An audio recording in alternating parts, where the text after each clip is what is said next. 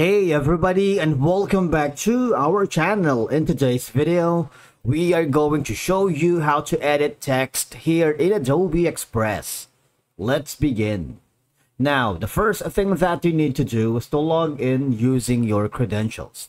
If this is your first time in Adobe Express, I want you to click the sign up option.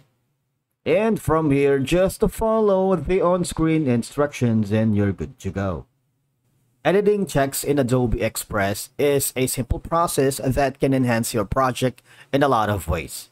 So once you are logged into your account, I want you to hover to the project or design that you are working.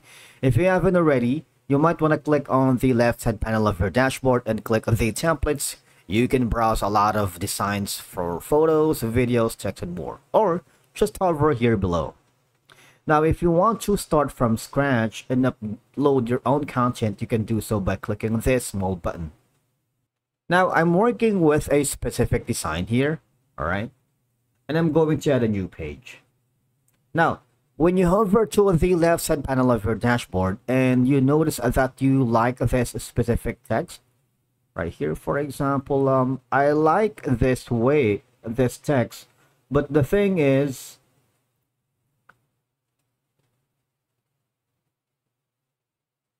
you see, you wanted to edit this one, right? All I'm gonna do for you to be able to edit the uh, text is click on rewrite. Okay. Now you have two options. For example, you can put your text here, all right? And the AI will do all the work for you. Okay, that's one way. For example, this one right here you can re rewrite and that's what's gonna happen. Or you can put your own text here so basically you just have to rewrite text and then edit.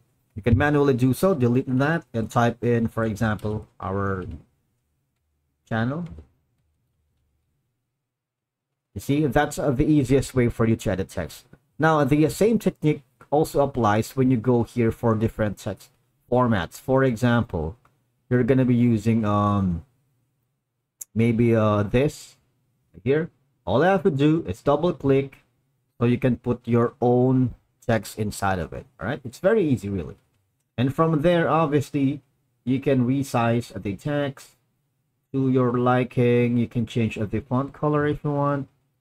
So you have all those control all right? And that's it for today's video. Thank you so much for watching. We will see you again in the next one